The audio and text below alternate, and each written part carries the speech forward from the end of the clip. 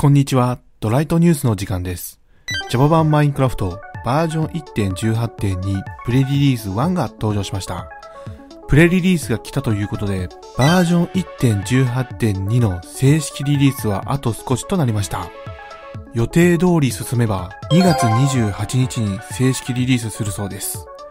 それではバージョン1.18.2プレリリース1の内容を紹介いたします。まずはロケートやロケートバイオームコマンドでバイオーム名や構造名の入力時にシャープがつくようになりました。これはシャープがつくことで大まかな場所を教えてくれます。例えば村を探す場合にシャープをつけることで近くにある村を探してくれますが、シャープをつけずにやると細かい村のバリエーションを探してくれます。砂漠の村だったり雪の村だったりとこのように使い分けができます。 locatebiome コマンドの場合は、そこに何かしらの構造体があるバイオームの座標を教えてくれます。例えば、廃坑のあるバイオームの場所を探してくれますが、ちょうど廃坑の場所ってことではないです。これなら locate の方が正確でいいかと思います。続いて、データパックのバージョンが8から9になり、実験的なデータパックにカスタムストラクチャーを追加できるようになりました。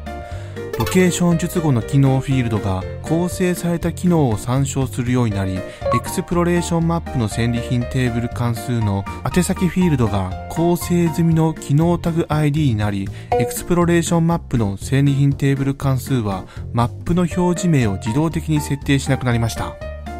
そして洞窟の生成の多くはデータパックを介して構成できるようになりました。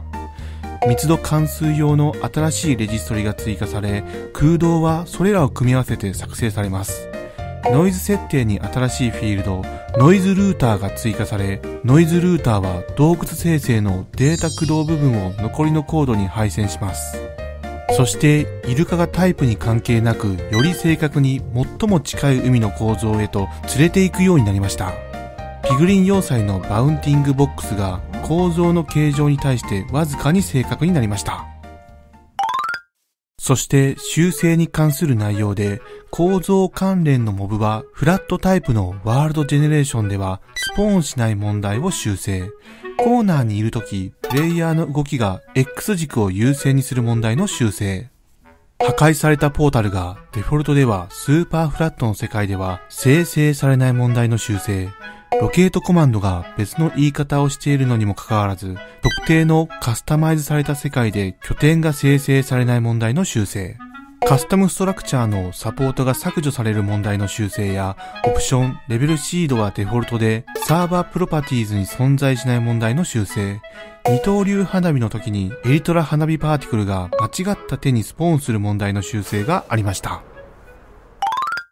以上、Java 版マインクラフトバージョン1.18.2プレリリース1の主なアップデート内容でした。プレリリースが来たことにより、もう少しで正式リリースが来ますね。新コマンドも出るので楽しみですね。